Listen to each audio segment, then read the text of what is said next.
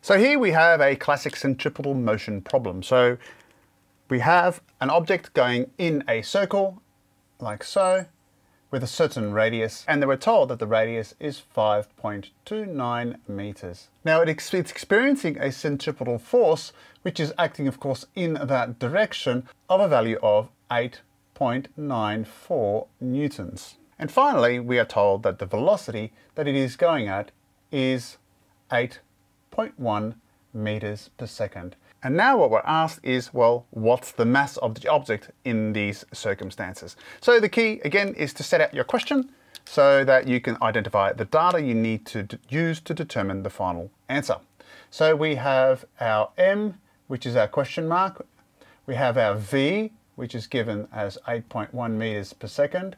We have our r, which is equal to 5.29 meters. And finally, we are given our centripetal force, and that is equal to 8.94.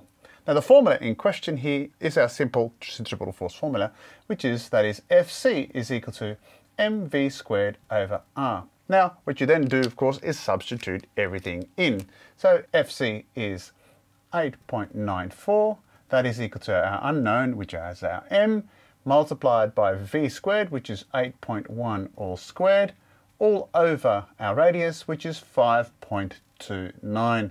So there you can rearrange that and therefore the mass ends up being 0.681 kilograms. So that's a centripetal force question.